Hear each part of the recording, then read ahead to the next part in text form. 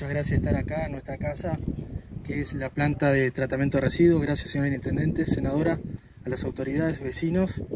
Vine a hablar a mi equipo, nuestro equipo de trabajo, que día a día clasifican todos los residuos que producimos en nuestros hogares. Tal cual lo que dijo el Intendente, esto es el puntapié inicial de un proyecto integral que tenemos para nuestra planta de tratamiento. Hoy es lo que es el tinglado, que es, va a ser un tinglado paralelo al que hoy tenemos, que luego en próximas etapas va a albergar lo que es la tolva y lo que es la cinta de clasificación. Hablamos mejor. Lo que va a albergar lo que es la maquinaria complementaria a lo que es el tinglado, que es eh, la cinta con su tolva, una cinta que no va a ser en altura como esta, sino que se está utilizando una, altura, una cinta al ras del suelo, el cual el operario va a tener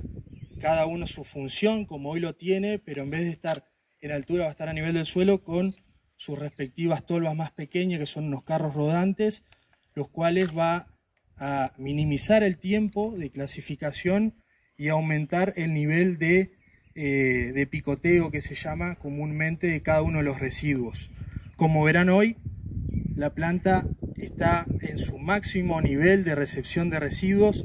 y nosotros lo que pretendemos con estos nuevos proyectos es, ser más eficiente en lo que es la logística y el tratamiento de esos mismos residuos. También lo que nosotros pretendemos es generar una reclasificación de los residuos que hoy son eh, la tasa no recuperable de residuos que hoy en día nosotros los acopiamos en una dársena que tenemos y posteriormente son llevados a la ciudad de Concordia a través de un convenio que el señor intendente firmó con quien era intendente en esa época, el señor Cresto. Es un relleno sanitario que es a través de provincia, que son nodos de gestión de residuos, el cual se llama nodo del abasto, que nos permite a nosotros todo lo que no se clasifica, que es una problemática a nivel mundial, no solo de federal ni de la provincia o del país, sino a nivel mundial, que son los, residuos que nosotros no clasificamos.